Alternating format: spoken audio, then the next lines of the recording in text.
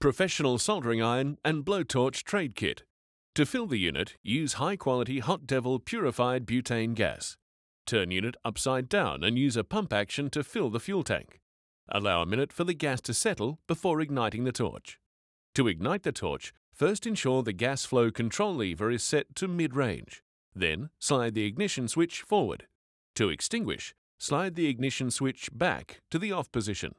To use the torch in solder mode, ensure you let the head cool before you unscrew the blowtorch head. Insert the soldering attachment and, whilst holding upside down, screw the torch head back onto the torch. To ignite, slide the ignition switch forward. Ensure you wait a minute or so to preheat the tip. These larger tips take a little longer to preheat. To extinguish, slide the ignition switch back to the off position.